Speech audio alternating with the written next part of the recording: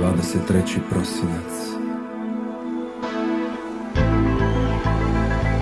Dva sata poslije ponoći. Zvoni telefon. Poziv iz bolnice. Sve mi je bilo jasno.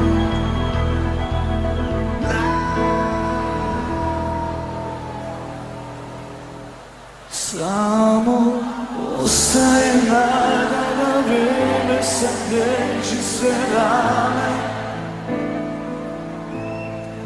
I da Bog će mi dati sa snage preživjet te dane.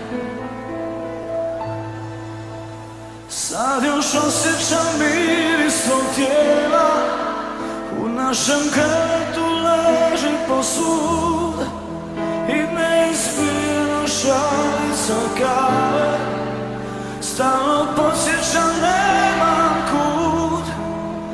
Nova zora polako sam sviđa Ali tebi to sve jedno je. I nema veze što pjevaju ptice Jer to gore sad ne čuje se. Samo ostaje nada da vrijeme sagriješi sve I da Bog će mi dati sa snage preživjet te dane. Samo ostaje nada da vrijeme sagriješi sve rane. I da Bog će mi dati sa snage preživjet te Ne znam što sada radim sa sobom. Nosim neizbrisivi trag Nikad više tvoj šapak na uho. Otvaram prozor za gušljiv je zrak. Brzo oblačim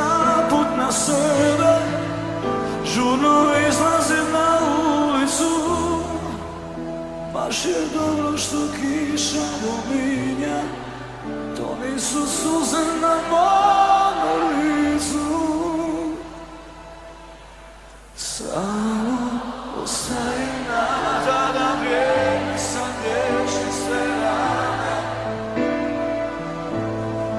I da Bog će mi dati sa snage preživjet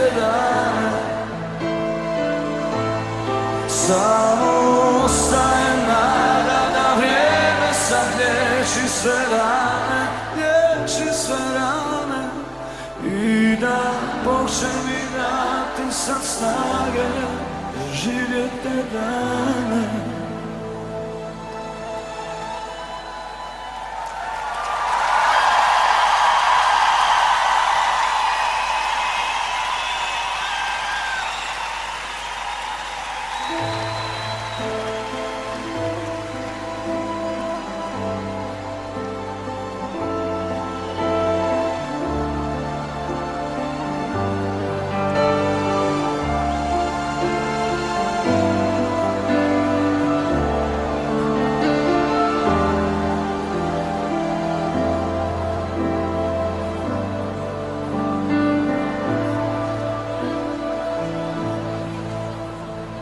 Još pamtim sve naše posljednje riječi Taj čvrsti zavjet ne raskidivi.